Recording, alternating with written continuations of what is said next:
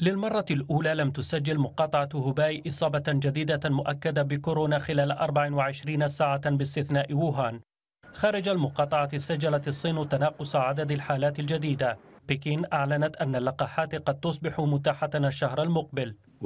بحسب تقديراتنا المبنية على أساس القوانين والتنظيمات الملائمة لدينا أمل في أن بعض اللقاحات ستدخل في نيسان إبريل مرحلة الاستخدام السريري أو الطارئ.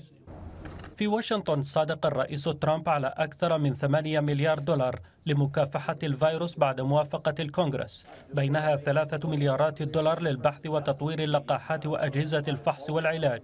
خطوة تزامنت مع تجاوز الوفيات 13 وفاة وتسجيل أكثر من 220 إصابة مؤكدة في الولايات المتحدة.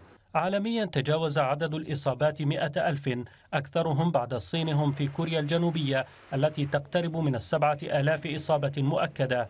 أما الوفيات فهي حوالي ثلاثة آلاف وأربعمائة حالة أكثر من ثلاثة آلاف منها في الصين وحدها وحوالي 200 في إيطاليا وما لا يقل عن 120 في إيران.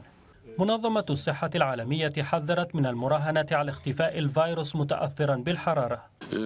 نفترض أن الفيروس سيواصل قدرته على الانتشار. من الخطأ أن نعقد أملا على اختفائه صيفا كالإنفلونزا. نأمل أن تكون مشيئة الله كذلك لكنه ليس بإمكاننا افتراض ذلك من دون أي دليل.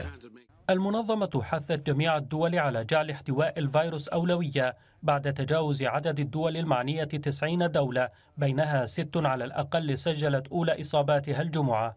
أوروبيا دعا الاتحاد أعضاءه إلى التضامن والتنسيق بعد حظر ألمانيا وفرنسا والتشيك كخطوة احترازية تصدير إمدادات طبية قد تساعد في إبطاء تفشي كورونا في دول أخرى.